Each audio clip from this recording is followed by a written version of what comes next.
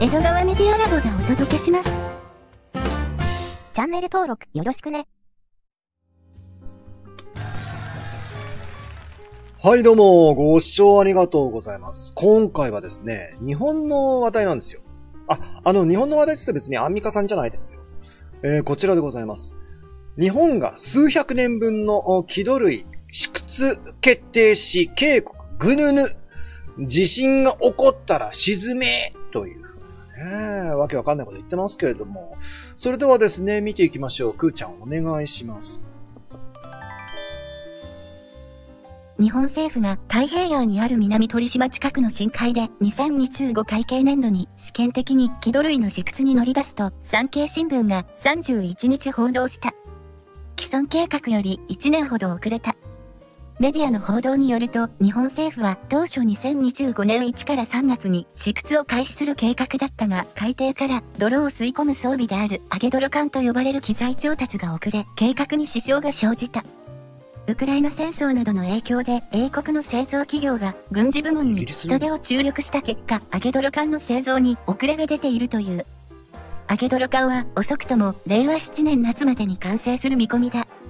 東京から東南に約1900キロ離れた島である小笠原諸島南鳥島の排他的経済水域 EEZ 内では2012年水深約6000メートルの海底でレアアースが含まれた泥が発見された。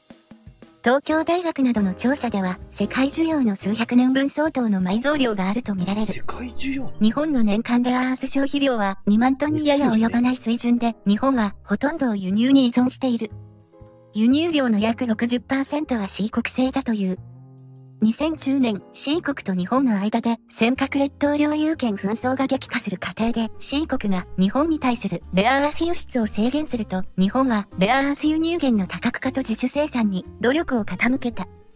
このような中、日本政府は水深7000メートルの海中を調査できる自立型無人潜水機 AUV を開発し、2025年に運用を開始する目標を立てたと日本経済新聞が同日伝えた。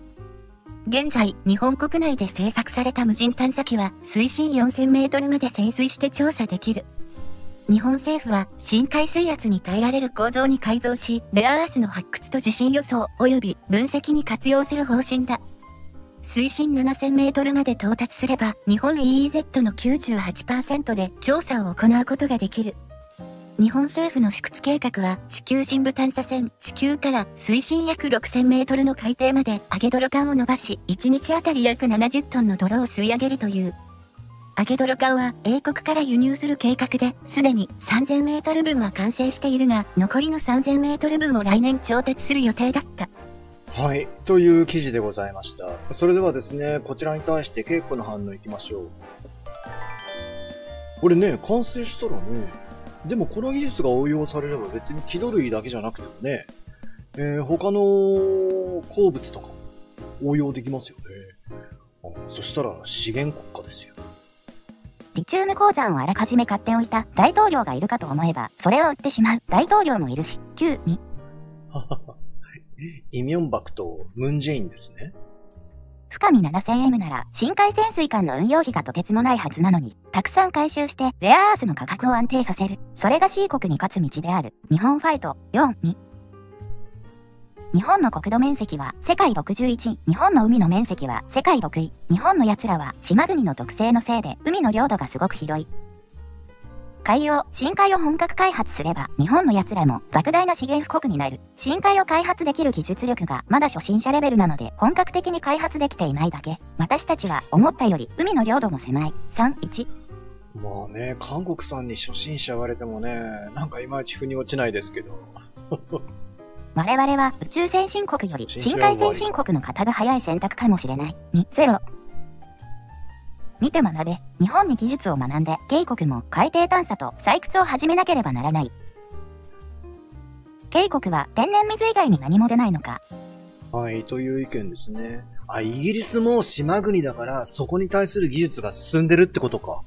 ああ。はい、えー、ということですね。それではこちらに対してチャット。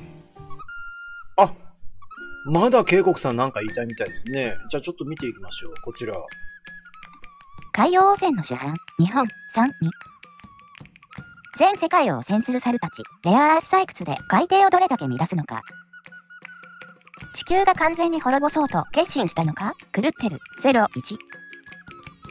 7000メートルなら地球を壊すということ。01。日本は資源もあんなに多いのに欲が多いですね。01。海の中を掘って地震が起こったら沈め。2、3。あ、これか。健常者ならこんな風にむやみに呪いをかけるコメントに賛成できないよ。これが愛国なの。呪いをかけるのが愛国で、あれに反対すれば親日派なの。すごい愛国者たちですね。はい。というね、意見でした。それではですね、チャットの反応いきたいと思います。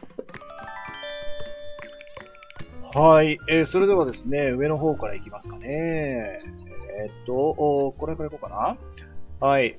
え地震が起きて沈むのは警告くらいなんだよなから。お前らに関係ねえだろ。こっち見てるんじゃねえ。見るな。ぐぬぬしながらもこの場所も多分把握してないだろうな。さすが食べられないごちそうには、害をかけ、ろってことわざある国ですな、わら。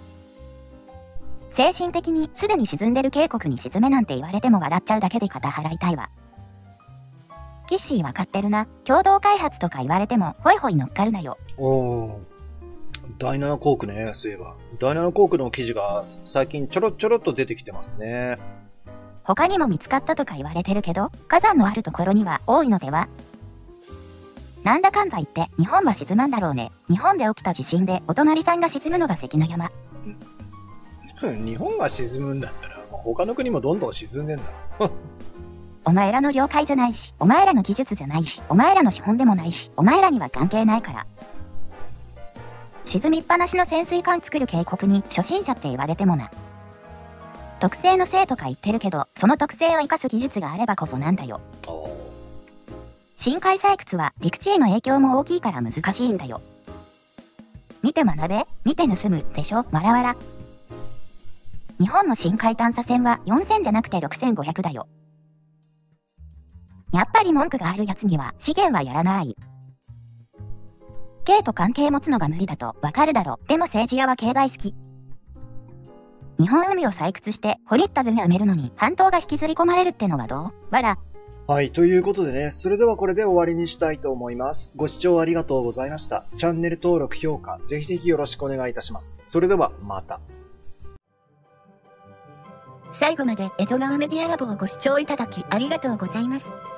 お手すきでしたら、こちらの最新動画と人気動画もおすすめしております。ぜひ、こちらからチャンネル登録もよろしくお願いします。